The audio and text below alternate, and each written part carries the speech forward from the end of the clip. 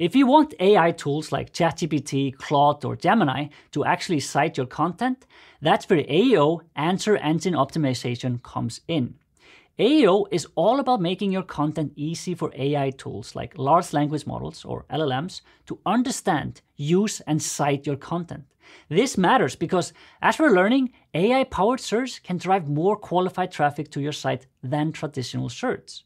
A relatively new proposed standard called LLMs.txt acts like a roadmap that guides these LLMs to your best content.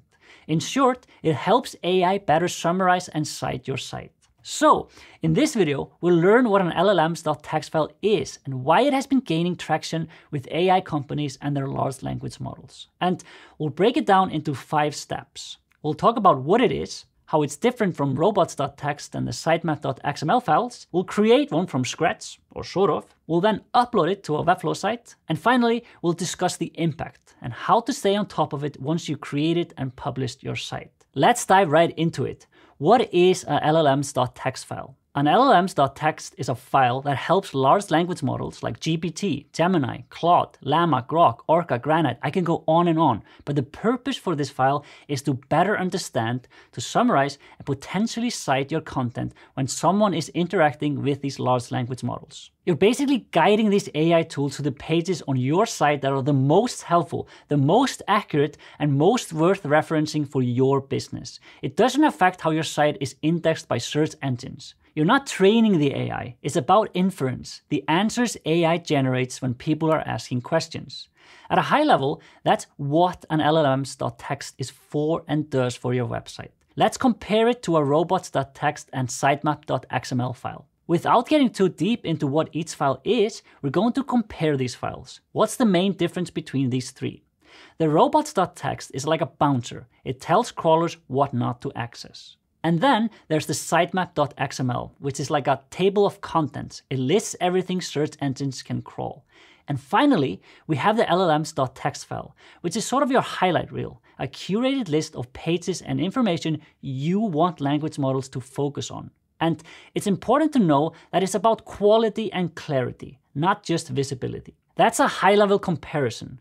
Let's go into how to create our LLMs.txt file. Okay, the goal is to create this file from scratch, or sort of. There are multiple ways to approach this, but here's how we're going to do it. Before we do that, a couple of things to note. Keep it under 100 kilobytes and UTF-8 encoded. Why? Because that's the format LLMs are currently looking for clean, lightweight, and easy to parse. Over at our Help Center, we have a simplified structure that you can start with. The LLMs.txt format is actively evolving, so we recommend to stay updated on this in the near future. But here and now, we have this structure. So we'll just copy it to our clipboard. I'm using a Mac, so I'm going to paste this into a text edit file. And it's important to make sure that it's set to plain text. You can change that up here under the Format tab.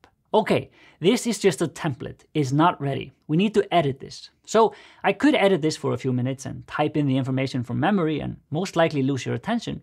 Or I can use ChatGPT to help us complete this file by pasting the template structure we got from the Help Center along with our request, a clear ask. Hit enter, copy the text, paste it to TextEdit, save, name, save, and we're done. Then you can of course always edit your file. It's important to make sure it's clear, helpful, and human.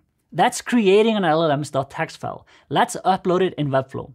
Once you've created the file, we'll go over to our site settings and then to our SEO tab. We'll scroll all the way down to our LLMs.txt section. And here, we'll simply click in, find our file, select it, and upload it, and it's done. And here we can see the file size and upload date.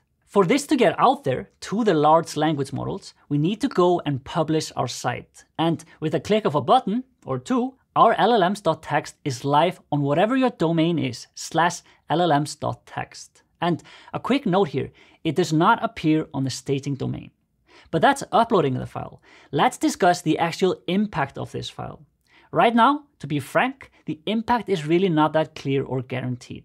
At this time, when this video was recorded, it's sort of in the experimental phase. Despite that, leading companies like OpenAI, Anthropic, and Perplexity are beginning to use it and look for it themselves. But again, there's no guarantee that uploading the LLMs.txt means that your site will be cited in AI answers, but it certainly is a step in the right direction. And it's also important to update the file regularly to make sure the large language models are always directed to the most current, high quality, and relevant content to your site, which is the key pillar of successful AEO.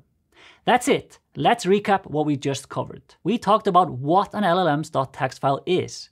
We compared it to robots.txt and sitemap.xml file types. We created an LLMs.txt file we then uploaded it to a Webflow site. And finally, we briefly talked about what to expect in terms of real world impact. That's what an LLMs.txt file is and how to upload it to your Webflow site.